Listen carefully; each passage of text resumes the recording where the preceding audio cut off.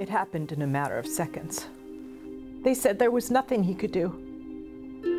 One accident changed his life and our lives forever. Who will take care of him when we're gone? It's our job to provide the financial security he'll need for the rest of his life. If your loved one has been severely injured in an accident, remember this name, Lundy Law.